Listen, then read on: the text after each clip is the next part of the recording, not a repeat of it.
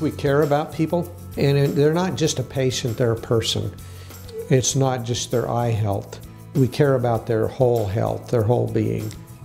I've had several patients that have actually said that they like to come here because they feel like it's more like family.